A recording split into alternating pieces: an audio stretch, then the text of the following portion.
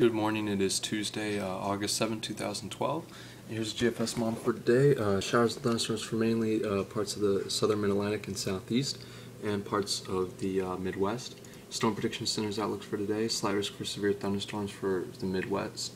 And um, areas of concern is the southeast. Uh, areas for tomorrow around the United States, uh, northwest, um, Midwest, and parts of the Northeast. And for Thursday, slight risk of severe thunderstorms for the Northeast Ohio Valley. And for Friday, um, area of concern for uh, the Mid Atlantic region. And this is the reason why um, upper trough coming in, um, sort of like a, a winter time thing, so to speak, um, but a lot of showers and thunderstorms coming across for Friday. Uh, temperatures for this afternoon going to be in the mid to upper 80s. Temperatures for tonight going to be in the mid 70s. Here's the high resolution rapid refresh model. Again, um, mainly showers and thunderstorms for the southeast and midwest and the four corner states.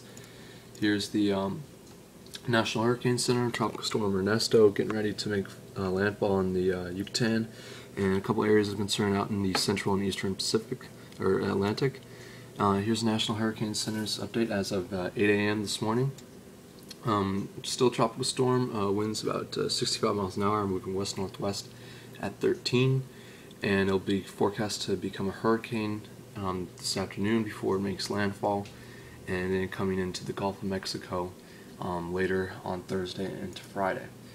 Um, here's a closer look at some of the forecast models making landfall um, today as of uh, 8 a.m. Making landfall sometime later tonight into tomorrow morning, and then moving into the Gulf of Mexico here's the latest concern just off of the Cape Verde Islands, um, another uh, area of concern. Um, here's the other models for that. Uh, could be um, part two of uh, Ernesto following the same type of track. So please keep here with me. Make suggestions for future videos. Please comment and uh, thank you.